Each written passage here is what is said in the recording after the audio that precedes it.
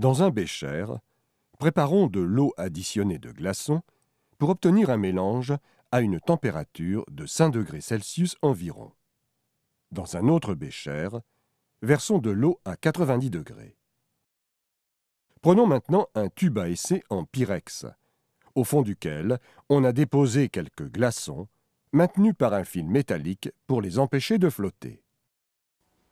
Versons alors dans le tube d'abord l'eau à 5 degrés, puis celle à 90 degrés. Puis inclinons le tube, de manière à pouvoir chauffer son sommet à l'aide d'un brûleur.